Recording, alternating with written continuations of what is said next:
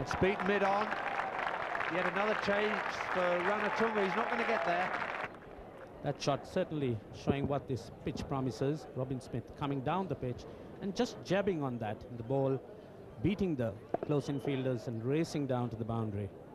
Holding was saying just now, 100 would be very handy, but even 80, 80 or 90 would start it up.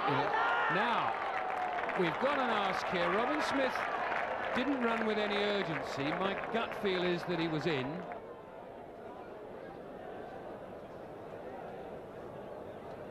Oh, very dramatic. That doesn't tell us much either.